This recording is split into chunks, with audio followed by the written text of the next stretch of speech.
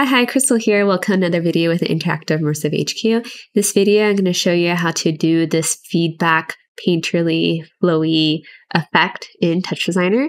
This is all done in tops with the feedback, no AI, just the old fashioned way.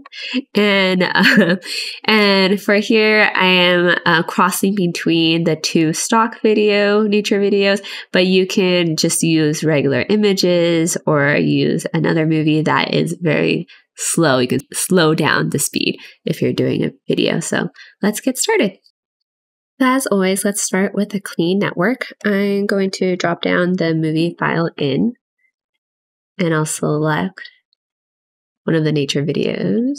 Um, I'll do this movie too. I'll just have one video for now and then I'll add the other one to cross and just set up the, the foundation of the network. I'm going to add a noise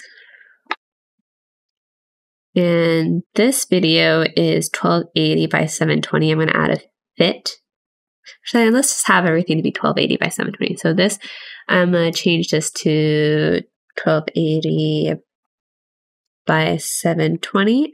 And this pixel format, I'm going to change it to 16-bit float.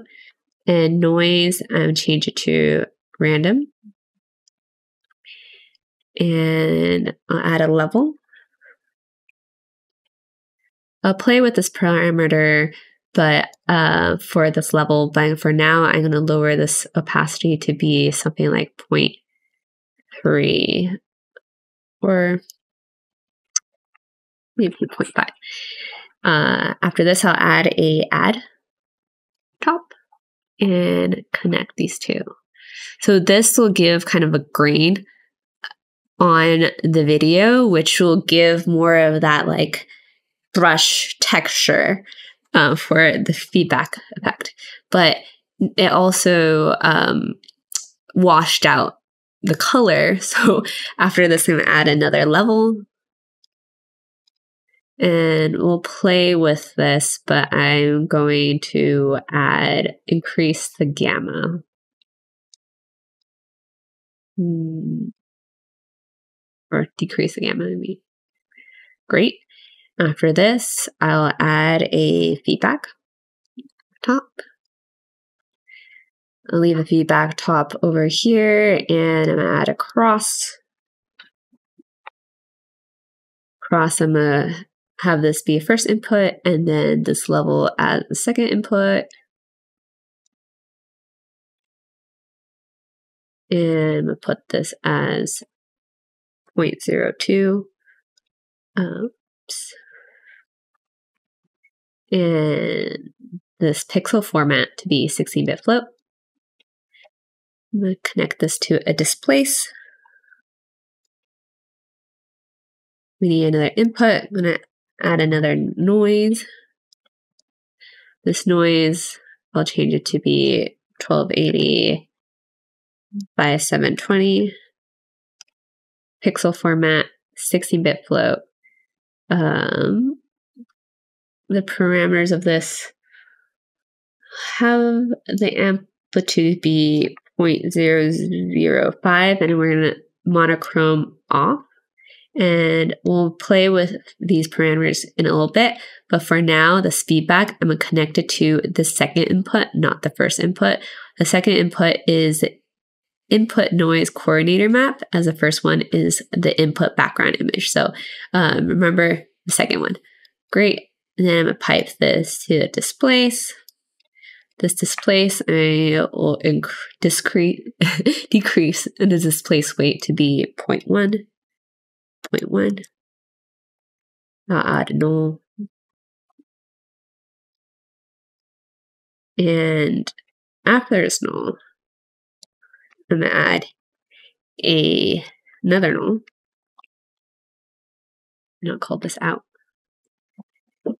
And this will be the view active because I'm going to connect this null to the feedback.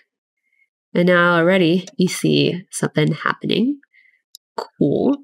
And we can play around with this noise. So we can increase this period. and the exponent, slow and speed this down.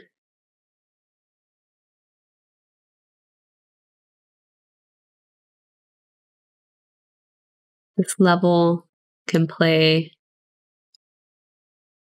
you want a little bit more red in it.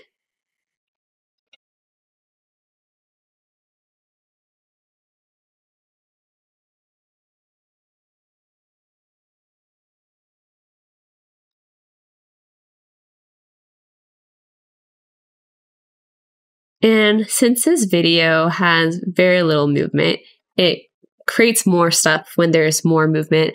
Um, so I'm going to copy and paste this and select the other video, which is I did the movie three. And I'll add a, another cross. I'll pipe this to the second cool. And then we can slowly cross between these two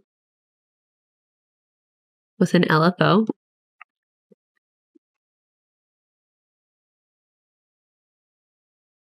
Have this frequency to be 0.1.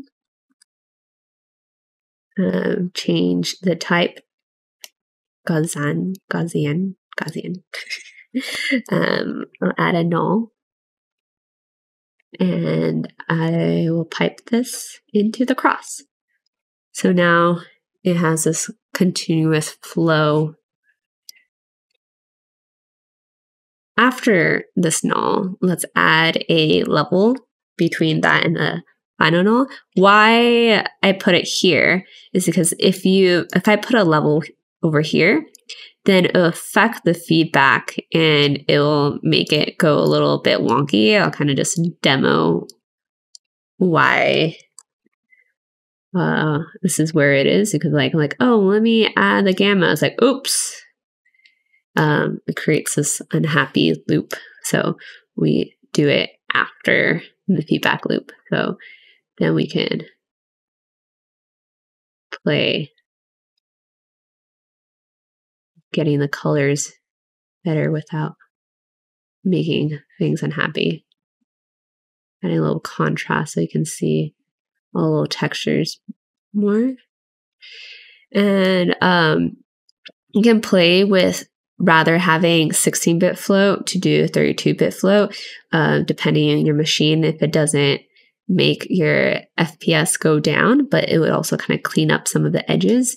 Or you can play with what if it's just 8 bit float, it kind of gives more of this glitch effect, which you could be something that you're striving for. But yeah, higher the bit float, the more clean it is. Things to kind of keep note of is that this is the second input noise, that everything is the same size, which is 1280 by 720 in here, and having um, you can play around with different bits and make sure if you want to add the contrast to have the level to be after the feedback loop. So simple, but I really like this effect and um, I like using this in different projects and you can add on to it. You can play around with what if it was like a video input? How do you make this reactive? And I'm excited to see what you do with this. And feel free to tag me and Intacct Immersive, Intacct Immersive HQ. I'll leave our uh, my handle in the caption below. Thanks. Bye. Hey folks, thanks for watching. If you like our YouTube content, I highly recommend you check out the Interactive and Immersive HQ Pro. The HQ Pro is the only comprehensive educational resource and community for immersive design, TouchDesigner, and creative tech pros.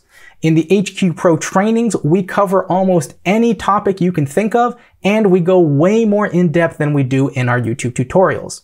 We have a private group where Matthew Ragan, myself, and our other industry veteran and pioneer teachers answer your questions every single day. If that sounds cool, click the link in the description to learn more. And if you enjoyed this video, hit that like button and don't forget to subscribe for more free TouchDesigner and immersive content.